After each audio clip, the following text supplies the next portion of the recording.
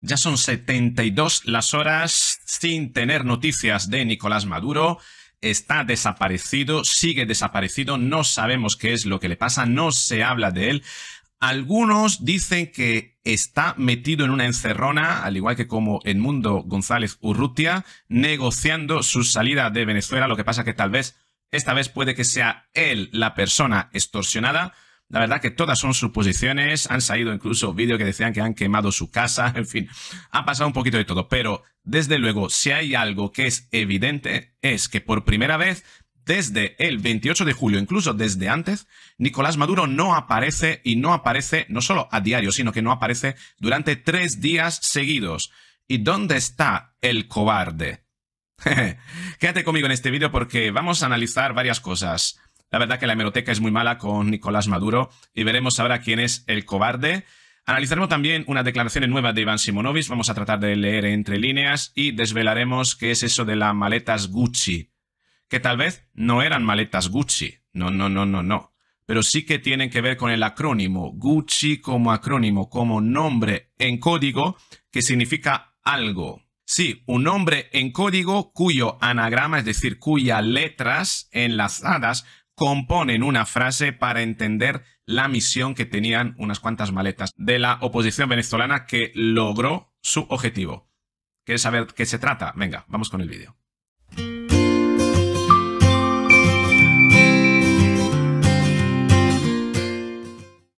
de González Urrutia, el nuevo Guaidó, señor cobarde, no se meta con la mujer humilde en su casa y su familia.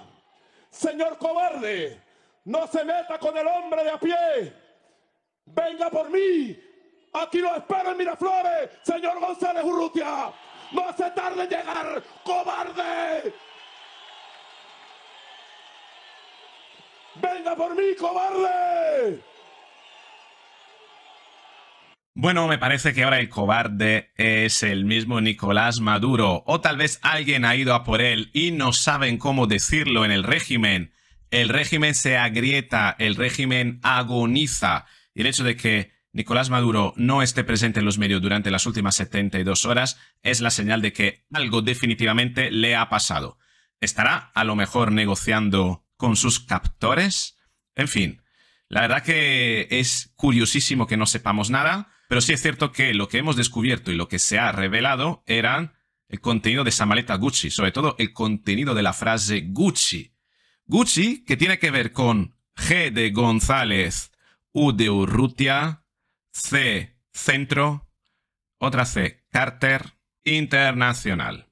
Sí, González, Urrutia, Centro, Carter, Internacional. Ahí es donde se habían enviado unas maletas que tenían como nombre Gucci, precisamente porque encerraban ese acrónimo, ese código que iba a significar que en esa maleta estaban las actas que demostraban la victoria de González Urrutia, por lo visto. Y Gucci no es que fuese la marca de las maletas, sino que era el nombre en código para identificar esa valija que viajaba hacia Nueva York. Parece ser que esto es lo que quiere significar esta, esta terminología. No sé hasta qué punto es verdadero, pero bueno, vamos a, escuchar la noticia. ¿eh? Lo vemos en un TikTok, entiendo yo que esto es un, es un meme, pero la verdad que es divertido y lo quiero compartir. 6.25 pm de la tarde, el día de hoy Nicolás Maduro ha ordenado al CENIAR la intervención de la empresa de maletas Fuxi debido al escándalo del traslado de las actas a la Organización de Estados Americanos ubicada en Estados Unidos. En estas actas dan como ganador a Edmundo González Urrutia de las elecciones celebradas el pasado 28 de julio en Venezuela. Sin embargo, los propietarios de empresas Fuxi de nacionalidad italiana se desmarcan de esta situación y se refieren en un comunicado que la inteligencia de los organismos de seguridad de Nicolás Maduro están confundidos y ven a María Corina hacer maletas. Y está preparando maletas marca Gucci. Le llegaron de Nueva York maletas marca Gucci. Gucci. Gucci es la etiqueta de destino de la maleta. Le explicamos el por qué. Gucci del etiquetado de la maleta significa González Urrutia Centro Carter Internacional. Hacia donde iba dirigida la acta.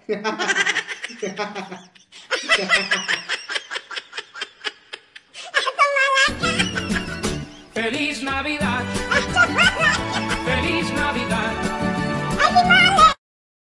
No puedo poner la canción porque si no salta, saltan los derechos de autor.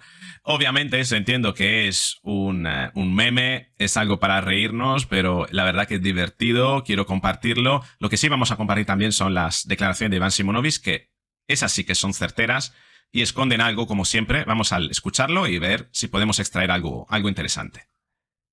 Bien amigos, ahora les quiero hablar sobre la represión y la violación de los derechos humanos. Recientemente el gobierno argentino emitió órdenes de captura a través de, la Interpol o Policía Internacional para que se produjera la detención de por lo menos 17 venezolanos militares involucrados en violaciones de los derechos humanos. Quien encabeza la lista, Noguera Pietri. Noguera Pietri fue comandante general de la Guardia Nacional y ha sido jefe de varias unidades militares donde se ha encargado de manera eficiente de la represión. Además de eso, está sancionado por el gobierno de los Estados Unidos por legitimaciones de capital y el, transporte, manejo de armas de destrucción masiva. Muchos creen que estas son cosas que, que no son importantes y nada más lejos de la realidad que esto. Nadie que tenga una alerta de Interpol por, una, por haber participado en unos delitos de esta categoría puede estar, puede estar tranquilo. Ni dormir tranquilo y mucho menos viajar a ninguna parte del mundo. Puede ser que te puedas estar relativamente seguro dentro de Venezuela. Pero eso tiene peso.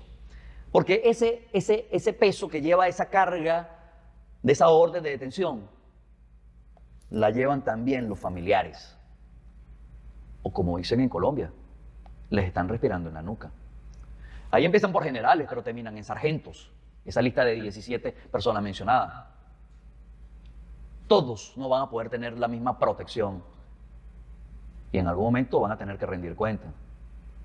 Y cuando les digo todo esto es porque tu mensaje no solamente a los ciudadanos que tienen sus dudas sobre este tipo de acciones, sino también un mensaje a aquellos que están involucrándose en estas actividades de violación de los derechos humanos.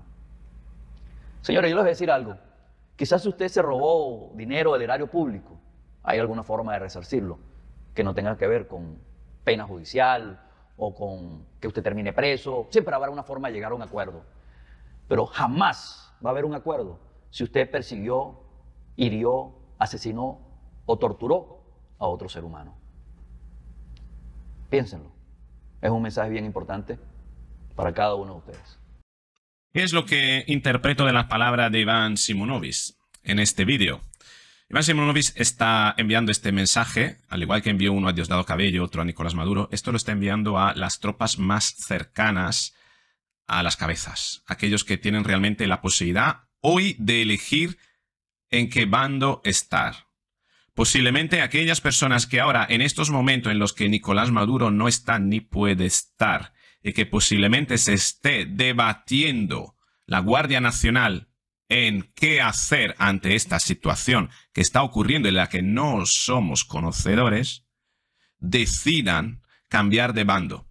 Tomen conciencia de que es el momento, ya ha llegado el momento y es su oportunidad para volvérsele en contra a Nicolás Maduro.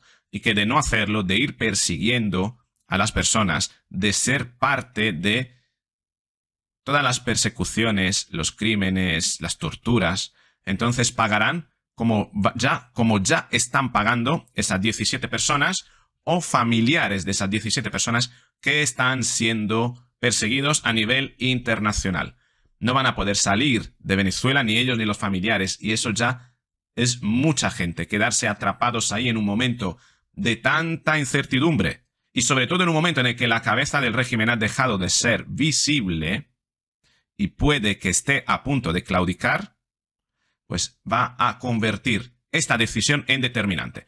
Creo que lo que dice Iván Simonovic en este vídeo es realizar realmente una invitación a las guardias nacionales, a todas las personas que tienen la posibilidad de elegir ahora y que lo hagan, que le den las espaldas al poder porque siempre tendrán la forma de redimirse de sus pecados y no les pasará nada, pero que en la eventualidad de posicionarse al lado de Nicolás Maduro y seguir persiguiendo y torturando a las personas, entonces serán juzgados y lo serán muy pronto. Porque desde luego pensar eso en un momento en el que Nicolás Maduro no habla, ni puede hablar, ni puede salir, desde luego da que pensar. Y es el momento ideal para que la inteligencia de Iván Simonovic convierta en muy convencedora la duda acerca de qué hacer y entonces la posibilidad también de dar la espaldas al poder, dar la espalda a la dictadura.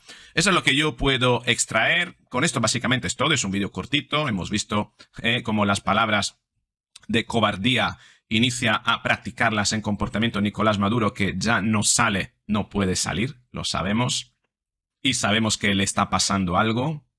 Segundo, el nombre código Gucci González Urrutia de camino como Papá Noel para Navidad para regalarle la libertad a Venezuela. Y finalmente, Iván Simonovic, que la Guardia Bolivariana empiece a dudar y que es el momento para que la Guardia Nacional le dé la espalda a Nicolás Maduro y se posicione en el lado correcto de la historia. En fin, si tú le extraes otra interpretación, compártela en los comentarios. Si te ha gustado el vídeo, dale al me gusta, compártelo, suscríbete, activa la campanita y nos veremos en el próximo vídeo.